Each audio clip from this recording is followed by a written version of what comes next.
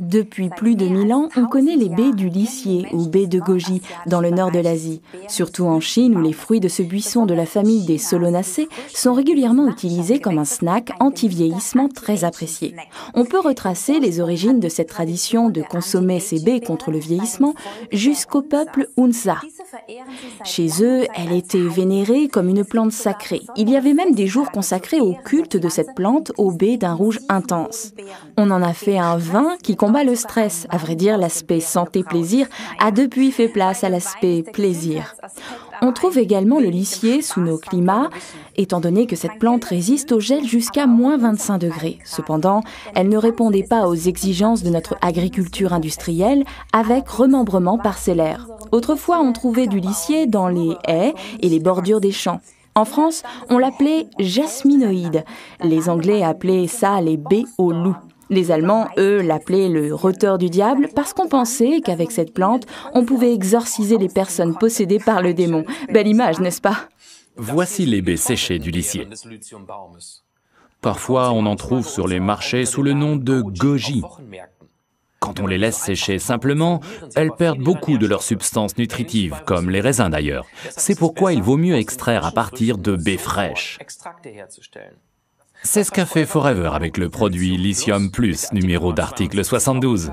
Dans le Lithium Plus, on trouve le remède maison le plus sucré de la boîte au trésor de l'humanité. Ah oui, la réglisse.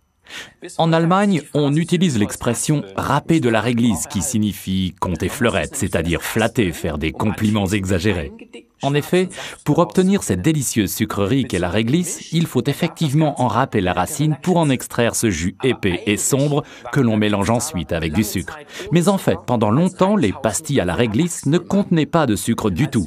Il s'agissait d'un remède traditionnel vendu dans le commerce à l'intention des adultes. Bien trop intense de goût pour être considéré comme des sucreries. On en vend encore maintenant sous le nom de réglisse pour adultes ou réglisse forte. J'en ai apporté au travail pour faire goûter à mes collègues. La plupart trouvent ça tout simplement trop fort. Juste une petite bouchée et vous commencez à saliver abondamment.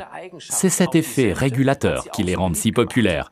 Par contre, on ne recommande pas aux gens qui font de la tension artérielle de consommer un paquet par jour de ce genre de réglisse. Pas d'inquiétude.